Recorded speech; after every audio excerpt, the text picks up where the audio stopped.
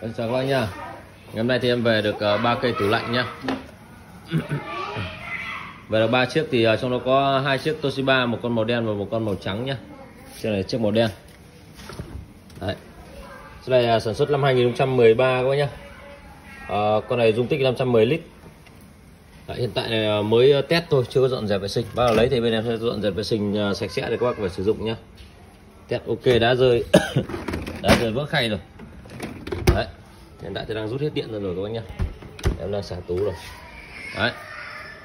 Mặt gương. Báo giá của bác chiếc này nhá.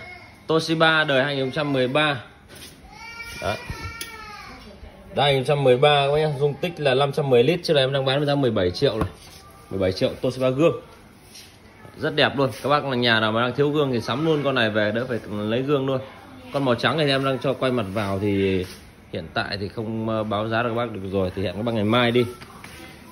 Ở đây thì ờ, có một con ờ, Panasonic đời 2022 này. Đấy. Ecolavi Nano X này. Đấy, rất là xịn sò nhá. Con này thì hàng nước lướt. Nó chưa sử dụng. Gọi là lướt được mà gọi là hàng gọi là thiếu thùng cũng được các bạn đời 2022 con này thì nó có dung tích là 450 lít các bác nhá. 450 lít gần như là mới luôn coi nhá. Gần như là mới luôn. Đây 2022 thiếu cái thùng thôi. Thực sự các là thiếu cái thùng rồi đời cao chót vót này. 2022 đấy, mặt gương nhá. Mặt gương. Không vết xước là luôn đấy. Rất là đẹp. Ecolavi Nano X Panasonic các bác thì chiếc này hiện tại bên em đang bán với giá là 28 triệu các bác nhá 28 triệu chiếc này. Đấy. với những cái uh, hàng cồng cành thì bên em nhận vận chuyển theo uh, có thể là người ta sẽ giao tận nhà cho bác bằng những cái đường uh, xe tải thôi. Em sẽ gửi xe cho bác nhá.